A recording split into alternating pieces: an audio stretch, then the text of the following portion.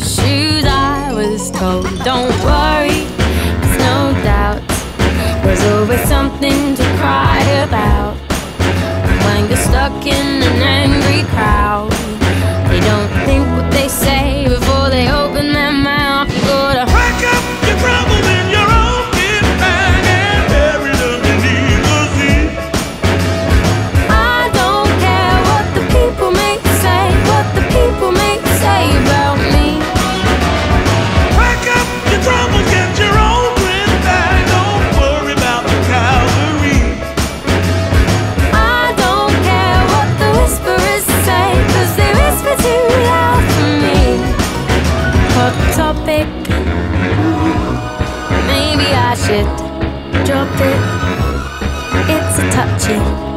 subject.